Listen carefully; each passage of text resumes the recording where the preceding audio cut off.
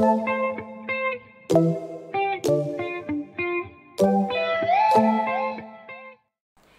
Students કેમ છો તમે? મજામાં ને બાળકો, તમે ઘરે ગુજરાતીમાં અભ્યાસ કરો છો ને? સરસ. તો એ તમારે ચાલુ જ રાખવું પડશે. અને આજે આપણે ગુજરાતીમાં થોડું આગળ વધીએ? ઓકે, ચાલો. બાળકો, ગયા વિડીયોમાં આપણે ચેપ્ટર નંબર ટુ એટલે કે મારો જન્મદિવસ જોયેલો આજે આપણે ચેપ્ટર નંબર થ્રી એટલે કે કવિતા છે તે આપણે જોઈશું. કવિતાનું નામ છે, મેં એક બિલાડી પાળી છે. બાળકો, દરેક જણ પોતપોતાના ઘરમાં કોઈને કોઈ પ્રાણી, પક્ષી, પશુ પાળતા હોય છે. બરાબર છે? તો આમાં એક બિલાડી પાળેલી છે. તેને કેવી રીતે રાખવામાં આવે છે? બિલાડી શું કરે છે, તેને શું ખવડાવવામાં આવે છે, તે આપણે જોઈશું. બરાબર છે? તો આપણે ચાલુ કરીએ? ઓકે. આ એકવાર આપણે ભણી લઈએ, શીખી લઈએ, તેના પછી આપણે એકવાર કવિતા ગાઈશું. ઓકે? ઓકે, બાળકો. મેં એક બિલાડી પાળી છે. જો આ છોકરી, આનું ચિત્ર દેખાય છે?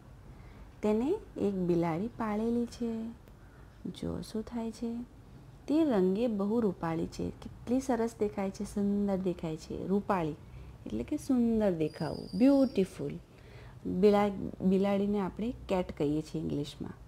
ઓકે તો એ રંગે બહુ રૂપાળી છે. હવે જોઈએ બિલાડી શું ખાય છે. તો દૂધ ખાય, દહીં ખાય. એટલે કે એ દૂધ તો પી જ લે છે અને દહીં પણ ખાઈ જાય છે. ઘી તો ચપચપ ચાટી જાય. બિલાડીને ઘી બહુ ભાવે. તો ફટાફટ ચાટી જ જાય ગીતો તે હળવે હળવે ચાલે છે. ધીરે ધીરે હળવે હળવે એટલે કે ધીરે ધીરે તે ચાલે છે. કોઈને ખબર ના પડે ને? તેવી રીતે. તે અંધારામાં ભાળે છે. અંધારું, ડાર્ક. ખબર છે ને? લાઇટ ના હોય તો અંધારું હોય છે. આપણને એકદમ ડાર્ક ડાર્ક વાતાવરણ દેખાય. તો શું કહે છે? અંધારામાં એ ભાળે છે. તેને અંધારામાં પણ ખબર પડી જાય છે. તે ઉંદરને ઝટપટ ચાલે. ઉંદરને તો એ દેખ્યો જ નહીં બસ. જે રીતે દેખ્યો ને પકડી જ લીધો. ઉંદરને તે ખાઈ જાય છે. અને કૂતરાથી બીતી ચાલે. જો કૂતરાનું ચિત્ર પણ અહીંયા આપેલું છે. કૂતરાથી એ બીએ છે. તેને કૂતરાથી બીક લાગે છે. બરાબર છે? એના ડીલ પર ડાઘ છે. શું છે? ડીલ પર. ડીલ એટલે કે એની બોડી. એની બોડી ઉપર એક શું છે? ડાઘ. ડાઘ છે. મારા ઘરનો વાઘ છે. તે છોકરી કહે છે, એ મારા ઘરનો શું છે? વાઘ છે. બરાબર? એકવાર ફરી જોઈએ. મેં એક બિલાડી પાળી છે, તે રંગે બહુ રૂપાળી છે. એક બિલાડી તેને પાળી છે, તે તેને ખૂબ જ પસંદ છે, તે ખૂબ જ સુંદર બ્યુટિફુલ છે.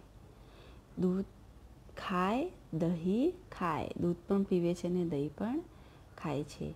ગીતો ચપચપ ચાટી જાય. ગીતો શું કે ચપચપ ચાટી જ જાય છે. તે હળવે હળવે એટલે કે ધીરે ધીરે ચાલે છે. અંધારામાં ભાળે છે અંધારામાં પણ તે દેખે છે.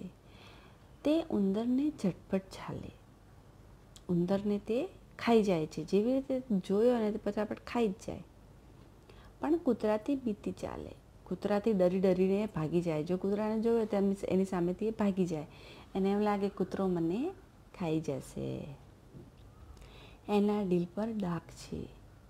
તે મારા ઘરનો વાઘ છે. તેના શરીર પર એક ડાઘ છે અને તે મારા ઘરનો શું છે? વાઘ છે. ઓકે, બાળકો? સુંદર, એક નાનકડું કાવ્ય હતું. એ આ કંઈ હાર્ડ કાવ્ય નથી. એકદમ ઇઝી છે. તમને ગમે તેવું. અને આના પ્રશ્નોનો જવાબ તો એકદમ જ ઇઝી છે. બરાબર છે? હવે આપણે એક કવિતા એકવાર ગાઈ લઈએ? ઓકે, સરસ.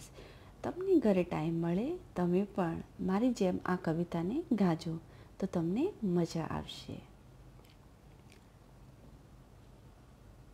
મેં એક બિલાડી પાળી છે તે રંગે બહુ રૂપાળી છે એક બિલાડી પાળી છે રંગે બહુ રૂપાળી છે દૂધ ખાય દહીં ખાય ઘી તો ચપ ચપ ચાટી જાય દૂધ ખાય ઘી દહીં ખાય ઘી તો ચપ ચપ ચાટી જાય તે હળવે હળવે ચાલે છે ને અંધારામાં ભાળે છે તે હળવે હળવે ચાલે છે ને અંધારામાં ભાળે છે તે ઉંદરને ચટપટ ચાલે પણ કૂતરાથી બીતી ચાલે તે ઉંદરની ચટપટ ચાલે પણ કૂતરાથી બીતી ચાલે એના દિલ પર ડાગ છે તે મારા ઘરનો વાઘ છે. એના દિલ પર ડાગ છે તે મારા ઘરનો વાઘ છે. આ કોણે લખેલું છે કાવ્ય? ચંદ્રવદન મહેતાએ. ઓકે બાળકો? હવે આપણે જોઈશું કેટલા શબ્દો. આપણે ખાલી વાંચવાના ને બોલવાના છે. બરાબર છે? બિલાડી. શું છે? બિલાડી. રૂપાળી. રૂપાળી. અંધારું. અંધારું. દૂધ. દૂધ. દહી. દહી. ચપ. ચપ. શું છે આ? ચપ. ચપ. ઝટપટ. ઝટપટ ઉંદર ઉંદર ડાઘ ડાક વાઘ વાઘ જોયું કેટલાક શબ્દો? બિલાડી, રૂપાળી, અંધારું, દૂધ, દહીં ચપચપ ઝટપટ, ઉંદર ડાગ અને વાઘ. હવે આપણે કેટલાક શબ્દાર્થ જોઈ લઈશું. બિલાડી.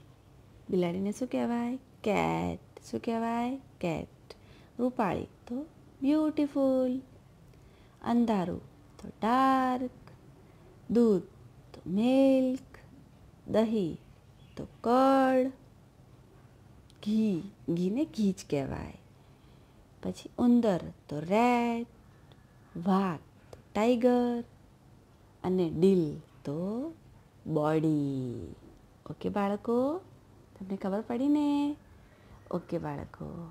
હવે આપણે નેક્સ્ટ વિડીયોમાં આની એક્સરસાઇઝ જોઈશું. ઓકે? હવે આપણે મળીએ નેક્સ્ટ વિડીયોમાં. Thank you